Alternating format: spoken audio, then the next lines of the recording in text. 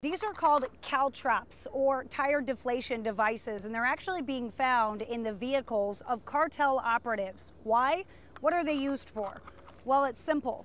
You throw them like this at the tires of a vehicle chasing you, and it's going to pop their tires, and you're going to be able to get away.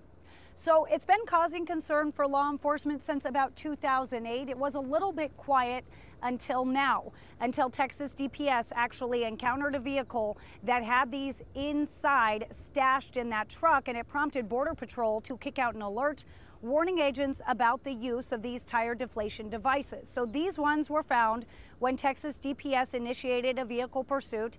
It resulted in the subjects bailing out near Uvalde.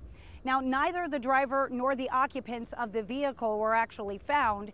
Texas DPS says these devices would be used by a advanced smuggler who has been working for the criminal cartels for years, looking for some way around law enforcement. We started seeing caltrops. Now, this particular instance, uh, we haven't seen them in years. Cartels and criminal smugglers, smuggling organizations are always going to find ways to, you know, evolve based on what we're doing, law enforcement.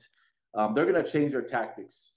If they are constantly being pursued by law enforcement, getting arrested by law enforcement, they have no other way to get away.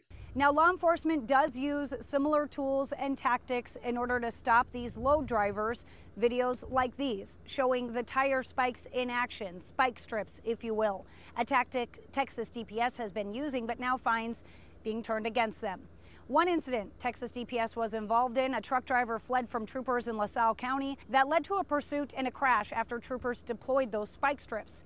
That's when eight illegal immigrants bailed out. In another chase in Kinney County, two teenage smugglers who said they paid nine grand to move migrants, they were spiked. They hit a light pole after reaching 120 miles an hour.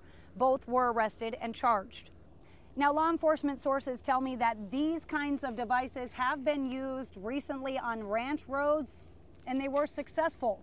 Using a tire deflation device or a caltrop like this, well, it's a third degree felony.